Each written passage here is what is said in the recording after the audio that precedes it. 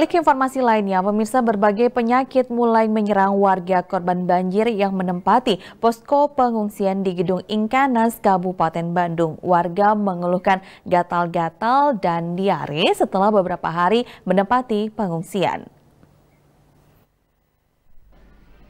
Beginilah suasana pemeriksaan kesehatan yang dilakukan Dinas Kesehatan Pemerintah Kabupaten Bandung di Gedung Inkanas, Balai Endah Kabupaten Bandung. Keluhan warga korban banjir yakni gatal-gatal, diare, sakit mata, dan ispa.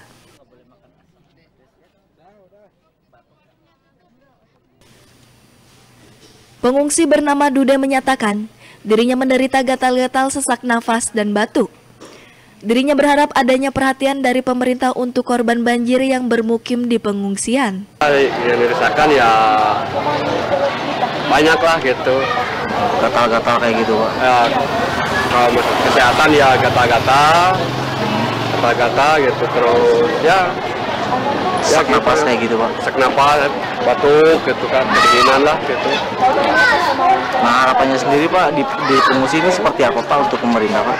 Ya mohon diperhatikan aja lah gitu lah Kepala Puskesmas Bale Endah Wijiartono mengungkapkan, pihaknya bekerja sama dengan pihak terkait berupaya melakukan antisipasi, yakni dengan melakukan pemeriksaan dan pengobatan di beberapa titik pengungsian. Pengungsi terus berdatangan untuk memeriksa kesehatan. Penyakit yang dikeluhkan warga yakni flu, batuk, gatal-gatal, dan diare. Kebanyakan adalah uh, gatal ya, gatal-gatal, terus kemudian batuk pilek lah ispa gitu ya, terus kemudian lambung gastritis. Itu yang paling banyak dan selain itu juga mungkin pegel-pegel lah gitu. Banyak yang paling banyak ya. Yang diberikan oleh puskesmas apa aja Pak obat Pak? Uh, kita dari puskesmas selain pengobatan juga pemberian PMT ya, uh, pemberian PMT baik itu untuk balita maupun ibu hamil. Kemudian juga kita juga berikan penyuluhan ya tentang PHBS di uh, tempat pengungsian seperti apa gitu ya.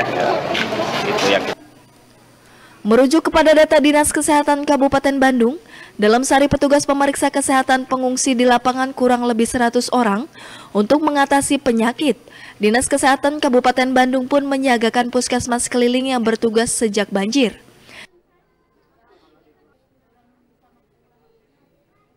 Rezitia Prasaja, Bandung TV